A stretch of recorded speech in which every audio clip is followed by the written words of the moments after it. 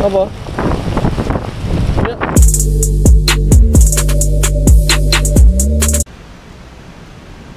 Jadi kemarin tuh ceritanya aku sama Tanti baru jalan-jalan ke eh, Bedugul. Jadi di sana itu kita pergi ke satu danau, namanya itu eh, Danau Buyan. Nah di sana awalnya sih kita emang niatnya buat em, foto-foto dan eh, ngambil beberapa angle video gitu, karena kita emang mau buat eh, vlog itu kan di sana. Awalnya sih kelihatan baik-baik aja, kita ngelihat eh karena di sana juga kebetulan lagi dibenerin gitu kan kayak dibuat dermaga gitu. Sama ada dibuat juga kayak dirapiin gitu loh. Kita buat foto eh, di beberapa tempat dan kita juga eh, seperti biasa sih di sana juga nggak terlalu ramai karena di sana eh, nggak terlalu banyak pengunjung juga nggak ada yang kemah juga sih gitu. Jadi sebenarnya sesuai seperti biasa aja gitu perjalanan kita kemarin ke Danau Buyan itu. Nah kita juga sempat ketemu eh, bule gitu yang naik motor juga di sana gitu kan. Nah terus yang jadi masalah itu pas perjalanan pulangnya kita nggak tahu dari mana tiba-tiba itu ada kayak angin gede banget gitu.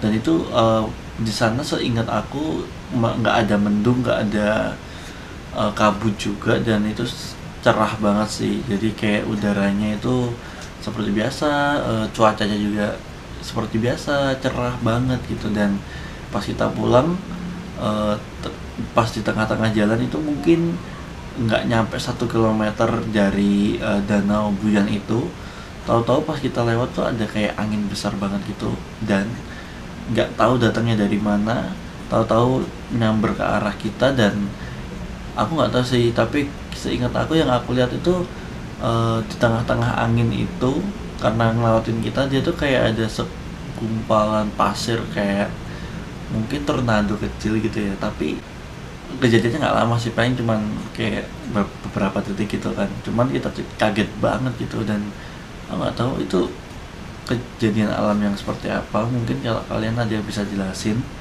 setelah kalian lihat video ini kalian bisa komen di bawah itu kejadian alam namanya apa dan bisa dijelaskan secara ilmiah mungkin atau gimana gitu. Cuman kalau menurut aku pribadi itu serem banget sih soalnya nggak ada apa-apa men. Di sana cerah banget gitu dan tahu-tahu ada angin gede banget gitu kan. Gitu. Apa iya ada tornado di pegunungan? Nah itu dia tadi cerita gua tentang sedikit eh, pengalaman yang menegangkan sih. Dan jangan lupa buat kalian yang punya cerita serem atau menegangkan seperti yang aku alamin itu kalian bisa komen di bawah. Dan jangan lupa share, komen, like video ini dan jangan lupa subscribe di channel ini karena bakal banyak video yang bakal aku upload di channel ini see you Apa? Ya. Coba tanya terus.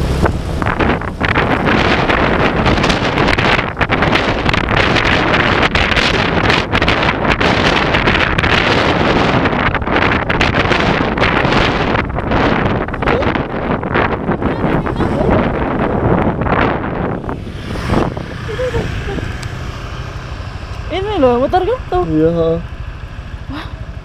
Kayak topan gitu Iya. ya.